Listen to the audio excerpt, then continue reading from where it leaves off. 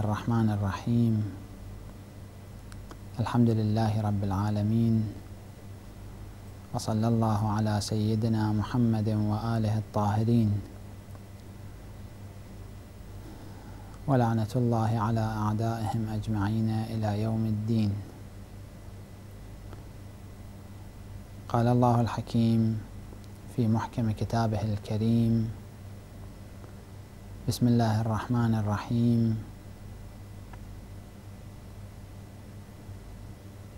ليلة القدر خير من ألف شهر.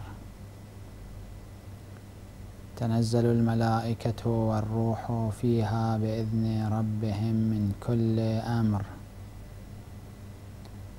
صدق الله العلي العظيم.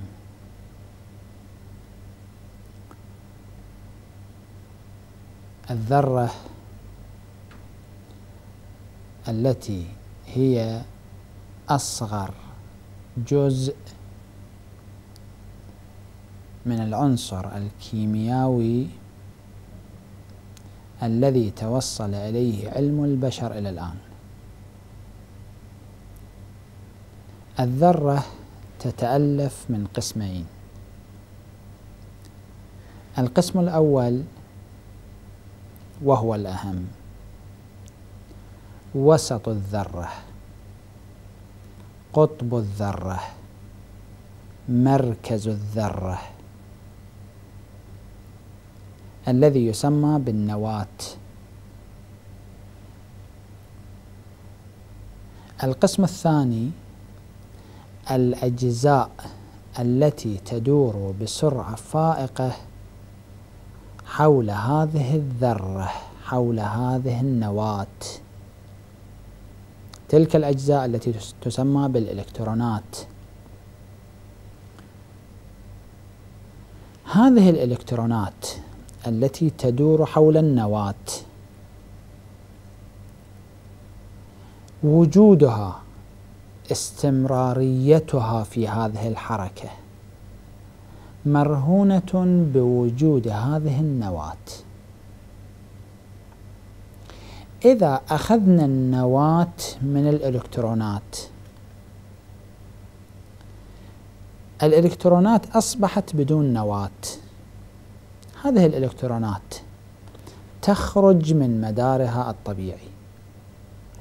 بهذه السرعة الخيالية يصطدم بعضها ببعض. وبذلك يتولد انفجار كبير وحريق هائل كبير. هذه الطريقة بالذات هي الطريقة لصناعة القنابل الذرية. وجود النواة في الذرة هو شيء أساسي. وجود الذرة بوجودها. استمرارية بقاء الذرة باستمرارية هذه النواة. هذه النواة لها جاذبة ولها دافعة. بهذه الجاذبة والدافعة تحافظ على كيان هذه الذرة. هكذا نجد هناك قطب مركز نواة عبر ما شئت في الأرض. الأرض لها قطب. مركز جاذبية الأرض هي قطب الأرض. الكواكب لها قطب لها مركز. المنظومة الشمسية قطبها ومركزها الشمس. إذا أخذنا الشمس من المنظومة الشمسية دوران الكواكب في المنظومة الشمسية يختل. الكواكب تصطدم. الكواكب تنفجر. الشمس بداف بجاذبية ودافعية. متناسبتين تحافظ على كيان المنظومة الشمسية. الكواكب تدور ضمن نظام دقيق. ما هو المركز لدوران هذه الكواكب؟ الشمس. جاذبية الشمس ودافعية الشمس. تجعل الكوكب يدور في مداره الصحيح. المجرات كل مجرة لها قطب لها مركز. سؤال هل لعالم الإمكان قطب؟ عالم الإمكان يعني كل ما سوى الله سبحانه وتعالى بعبارة أخرى المخلوقات بأجمعها مخلوقات الله سبحانه وتعالى ما خلقه الله عز وجل.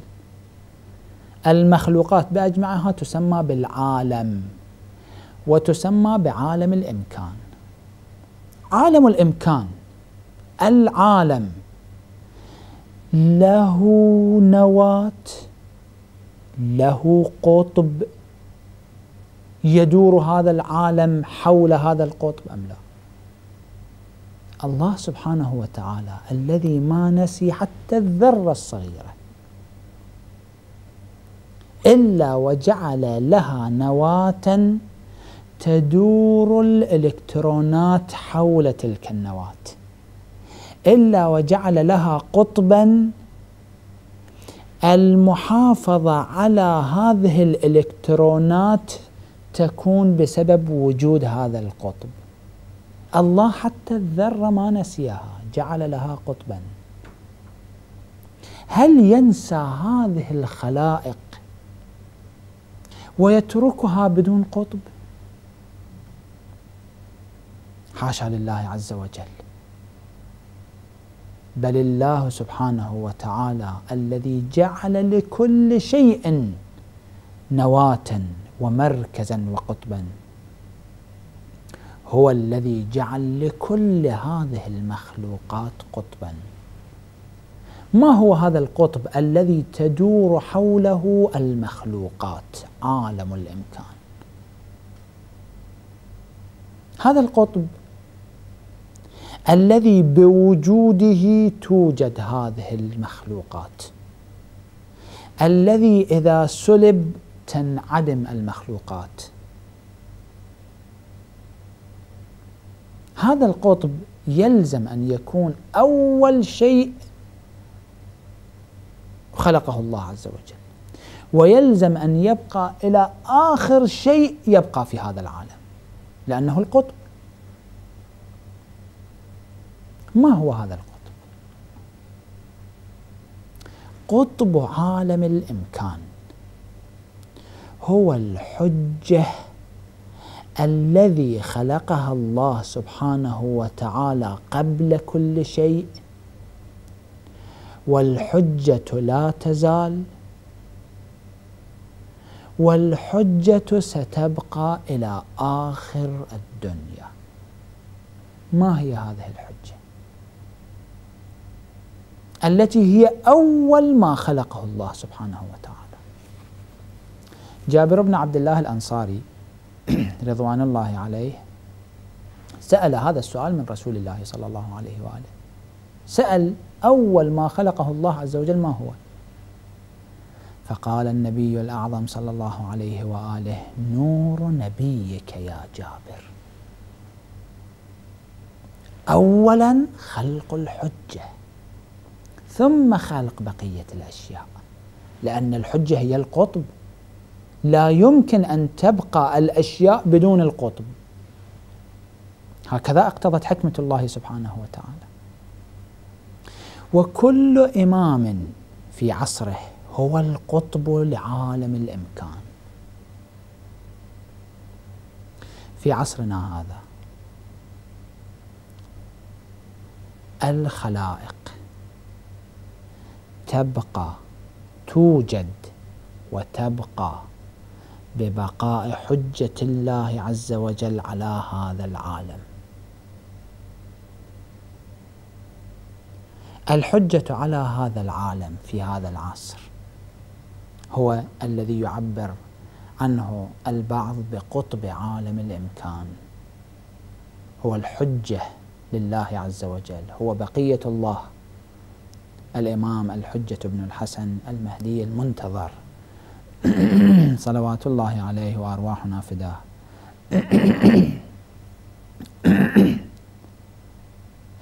الحجة المنتظر أرواحنا فداه وصلوات الله عليه. لو أخذ من هذا العالم فسيصطدم البشر بالجن. الحيوانات بالجمادات الملائكة بالشياطين الكواكب بالنجوم. لساخت كما في الأحاديث الشريفة المستفيضة بل ربما المتواترة. لولا الحجة لساخت لا تبقى الأشياء على حالها. بوجوده يبقى كل شيء في مكانه. المناسب.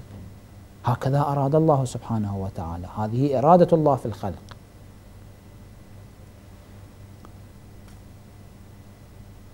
بوجود الحجة يستمر الدين. بوجود الحجة تستمر الحياة. التكوين والتشريع. يوجدان بوجود الحجة ويستمران باستمرار وجود الحجة. ولذا الله سبحانه وتعالى ما جعل الدنيا عالم الدنيا لا أقصد الكرة الأرضية ما جعل الدنيا تخلو من الحجة طرفة عين. لا يبقى في الدنيا شيء. بل حسب ما نعتقده نحن طبقا للروايات الشريفة الأحاديث الشريفة الواردة عن رسول الله وأهل بيته عليهم الصلاة والسلام. الإمام ينام ولكن لا ينام مثل نومتنا. الإمام ينام ولكن قلبه يقظ طيلة وقت النوم. ولكن أذنه تسمع. ولكن عينه ترى يطبق عينيه. ولكن عينه ترى. هذا العالم كله متوقف على هذا الإمام. لا يمكن أنه لحظة واحدة يسلب ولو سلبا قلبيا من هذا العالم. البعض يتصور أن الإمام هو الحجة على البشر والجن فقط. حاشا. الحجة هو حجة على كل الخلائق. عالم الملائكة. لو أردنا أن نصور عالم الملائكة بتصوير قريب إلى الذهن نصور وزارة معينة في حكومة. هناك عشرات من الموظفين. كل موظف له دور معين يؤدي دوره. حسب الوضع المقرر له المقنن له. ولكن تأتي إليه حالات قضايا لا يعرف كيف يبت فيها. أو أحيانا يعرف ولكنه ليس مخولا في البت في هذه القضية. ماذا يصنع؟ يرجئ القضية وينقلها إلى المدير. المدير يلزم أن يبت في هذه القضية. أحيانا المدير أيضا لا يتمكن أن يبت ينقل القضية إلى وكيل الوزارة. أحيانا وكيل الوزارة ليس مخولا في البت أو لا يعرف كيف يبت ينقل القضية إلى الوزير نفسه. وفي بعض الأحيان حتى الوزير لا يتخذ القرار وإنما ينقل القضية إلى رئيس الحكومة. عالم الملائكة هكذا. كل ملك يؤدي دوره. تعلمون. عالم الكون. متوقف على الملائكة. الملائكة هي التي تدير هذا الكون. كل صغير وكبير في هذا الكون تديره ملائكة. الملك يؤدي دوره. كل ملك يؤدي دوره. ولكن تأتي قضايا. القضية أكبر من حجم الملك. أو الملك لا يعرف كيف يحل هذه المشكلة كيف يؤدي هذا الدور ماذا يصنع؟ في الملائكة مراتب ليست بالعشرات ربما بالآلاف ربما أكثر. مراتب الملائكة كثيرة جدا. الملك ينقل القضية إلى من؟ هو أعلى منه. أحيانا ذاك أيضا لا يتمكن ينقل إلى من هو أعلى. وهكذا القضايا أحيانا تتدرج إلى أن تصل إلى سادات الملائكة. إلى جبرائيل إلى عزرائيل إلى ميكائيل إلى إسرافيل. سادات الملائكة يبتون في هذه القضية. ولكن سادات الملائكة أحيانا تحدث لهم ظروف حالات قضايا لا يتمكنون أن يبتوا فيها. ماذا يصنعون؟ يرجعون هذه القضية إلى شخص له أداة. بهذه الأداة يعرف إرادة الله سبحانه وتعالى. من هو هذا الشخص الذي يمتلك هذه هذه الأداة؟ جبرائيل لا يمتلك هذه الأداة رغم عظمته. سيد الملائكة جبرائيل. ولكنه لا يمتلك شيئا به يعرف إرادة الله سبحانه وتعالى دائما. جبرائيل يتلقى الأوامر. هو لا يمتلك الأداة. من هو الذي يمتلك أداة؟ بها يعرف ماذا يريد الله. يعرف إرادة الله. هو النبي والإمام. قلوبنا أوعية. لماذا؟ لمشيئة الله. وعاء لإرادة الله لمشيئة الله. ما الذي يريده الله سبحانه وتعالى؟ النبي والإمام يرجعان إلى قلوبهما. يعرفون إرادة الله. الله سبحانه وتعالى جعل قلب الإمام ظرفا لإرادته. جبرائيل إذا احتار يرجع إلى الإمام. يسأل من الإمام ما الذي أراده الله سبحانه وتعالى في هذه القضية؟ الإمام يحل الإمام يرجع إلى قلبه فيعرف إرادة الله سبحانه وتعالى. قلوبنا أوعية وعاء أوعية لمشيئة الله. فحتى الملائكة ترجع إلى الإمام. هذا المعنى ليس مني هذا المعنى في ورد في الأحاديث الشريفة. ورد في النصوص المقدسة. ورد في بعض الآيات القرآنية. نقرأ نحن في شهر شعبان في الصلوات الشعبانية التي وردت عن الإمام علي بن الحسين زين العابدين عليه الصلاة والسلام. نقرأ في بداية هذه الصلوات المباركة التي تقرأ عند الزوال في كل يوم من أيام شعبان. نقرأ في بدايته في بداية هذه الصلوات نقرأ اللهم صل على محمد وآل محمد شجرة النبوة وموضع الرسالة ومختلف الملائكة. مختلف الملائكة يعني محل تردد الملائكة. هل الإمام له ديوان لاستراحة الملائكة؟ الملائكة تتردد تستريح؟ كلا. الملائكة مخلوقات دائمة الشغل. دائمة العمل. الملائكة لا تستريح. لماذا الملائكة تتردد على الإمام؟ لماذا محمد وآل محمد صلى الله عليهم أجمعين هم مختلف الملائكة محل تردد الملائكة؟ الملائكة تأتي تأخذ أوامر تأتي لعمل لشغل. في زيارة من زيارات سيد الشهداء عليه الصلاة والسلام نقرأ هذه العبارة وربما في أكثر من زيارة. نسلم على الإمام الحسين عليه الصلاة والسلام لأنه أحد المعصومين الأربعة عشر الذين يمتلكون هكذا قلب قلوبنا أوعية لمشيئة الله. نقرأ في زيارته السلام عليك يا حجة الله في أرضه وسمائه. عرفنا أن الإمام هو حجة الله في أرضه حجة الله على البشر على الجن. ما هو معنى حجة حجة الله في سمائه؟ من معاني هذه العبارة. أن الملائكة هناك حجة عليهم. الإمام الحسين في زمنه هو حجة الله على الملائكة أيضا. الملائكة تأخذ أوامر منه. كما أننا نأتمر بأوامر الإمام الحسين كذلك الملائكة تأتمر بأوامره. ليس حجة فقط على البشر.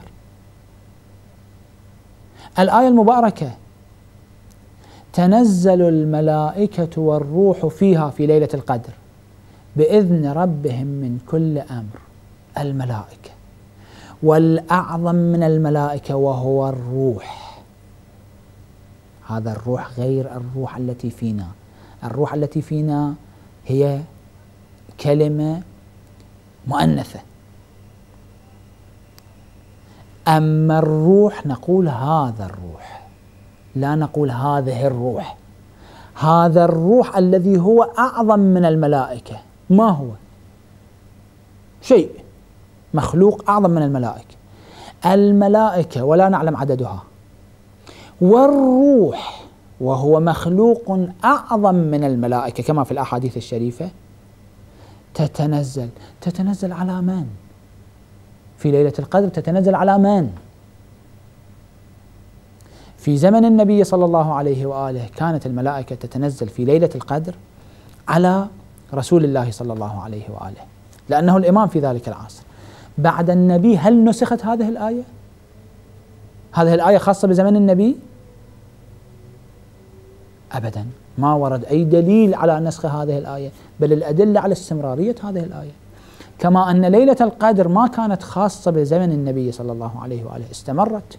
في كل سنة هناك ليلة هي ليلة القدر. كذلك نزول الملائكة في ليلة القدر. هذا مستمر. تنزل على من بعد رسول الله؟ كانت تنزل على وصي رسول الله على الإمام في ذلك العصر وهو أمير المؤمنين. علي بن أبي طالب صلوات الله عليه. من بعد أمير المؤمنين كانت تنزل على الإمام الحسن. من بعد الإمام الحسن تنزل على الإمام الحسين. في عصرنا هذا في كل سنة لا نعلم ملايين من الملائكة آلاف من الملائكة سادات الملائكة فقط أم جميع الملائكة لا نعلم. ملائكة والروح تتنزل على صاحب الزمان في هذا العصر على قطب عالم الإمكان على مركز هذا العالم.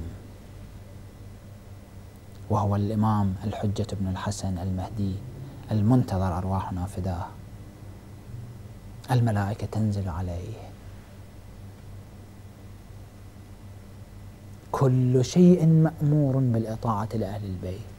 الإمام سيد الشهداء عليه الصلاة والسلام في حديثه يقول والله ما خلق الله شيئا إلا وأمره بالطاعة لنا. كل شيء حتى الملائكة. فنعرف معنى السلام عليك يا حجة الله في أرضه وسمائه.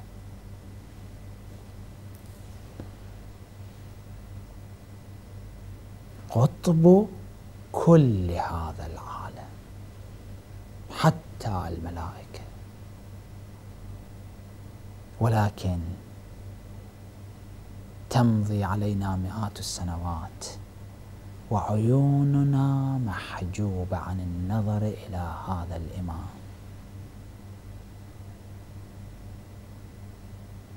يمضي علينا ألف ومائة وستة وسبعون عاما ليس يوما ويومين. ألف ومائة وستة وسبعون عاما.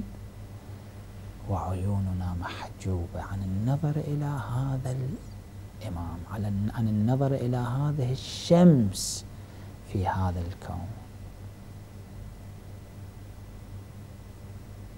ما الذي حجب عيوننا عنه هو يرانا ونحن لا نراه أو نراه ولا نعرفه؟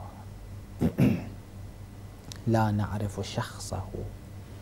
نعرفه هو ابن الإمام الحسن العسكري حفيد الإمام الهادي. هو ابن الحسين هو ابن فاطمة. ولكن لا نعرف شخصه. ما الذي حجب هذه العيون عن النظر إلى الإمام؟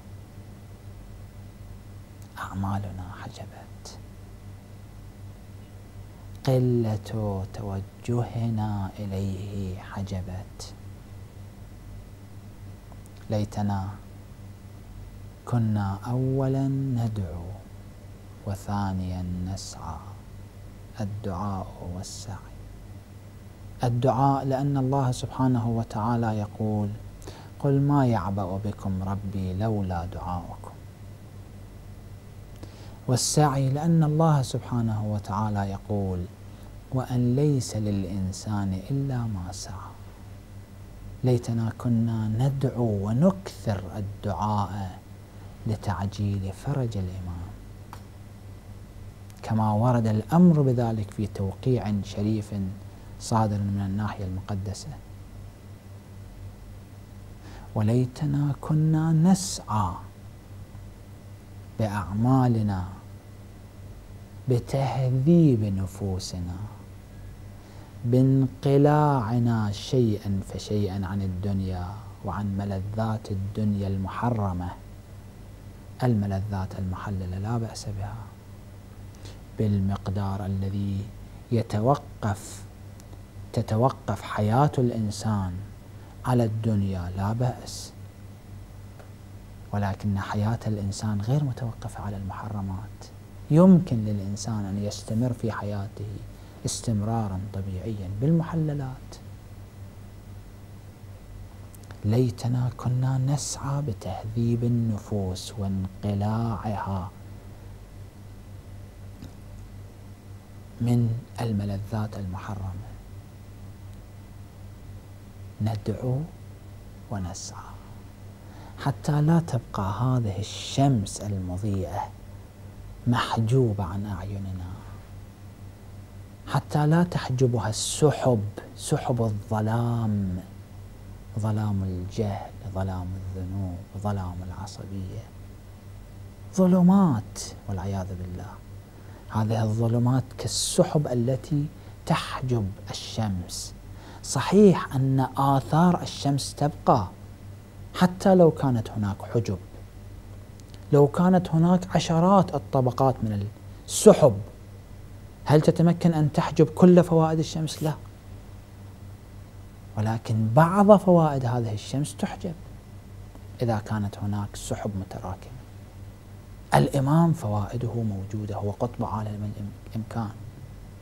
وجود كل شيء متوقف بإذن الله سبحانه وتعالى على وجود الإمام. ولكن هناك فوائد كثيرة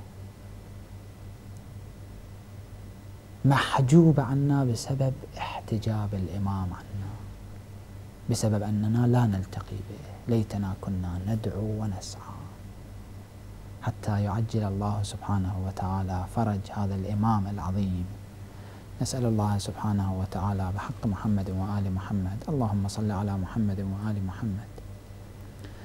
وعجل اللهم فرج مهدي آل محمد. اللهم أعطه في نفسه وذريته وشيعته ورعيته وخاصته وعامته وعدوه وجميع أهل الدنيا ما تقر به عينه وتسر به نفسه. وبلغه أفضل ما أمله في الدنيا والآخرة. اللهم احفظه من بين يديه ومن خلفه وعن يمينه وعن شماله ومن فوقه ومن تحته. اللهم أرنا الطلعة الرشيدة والغرة الحميدة واكحل نواظرنا بنظرة منا إليه. وعجل فرجه وسهل مخرجه إنك مجيب الدعوات. والحمد لله رب العالمين وصلى الله على سيدنا محمد وآله الطاهرين.